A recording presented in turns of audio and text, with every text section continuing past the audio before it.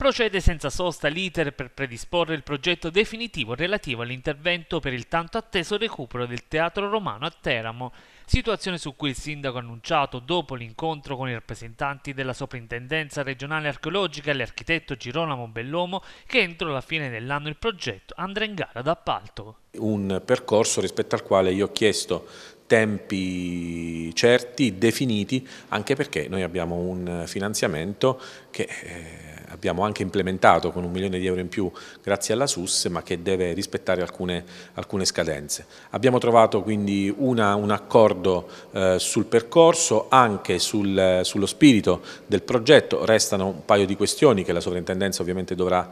eh, vedere, in particolare la copertura e la protezione dei, dei resti e eh, l'aspetto legato al, al, restauro, però c'è stato un punto di intesa su un aspetto che in questa fase è molto importante. Eh, perché eh, va ribadito che non esiste, non esiste alcun progetto alternativo a questo. Il recupero pieno e funzione del Teatro Romano passa per questa fase, per questa idea di progettazione, poi verrà rimodulata in fase definitiva esecutiva, ma un, eh, una, un recupero che passa attraverso la demolizione di due palazzi Adamoli e Salvoni. La copertura però al Comune non piace come a molti cittadini. Allora, la protezione è eh, necessaria eh, perché comunque si tratta di proteggere dei resti che rischiano appunto di essere deteriorati nel corso del tempo. Il problema è come fare la copertura. Noi sulla copertura eh, diciamo così, eh, pesante abbiamo già detto di no, uno è stato un primo atto, uno dei primi atti relativi al Teatro Romano che abbiamo,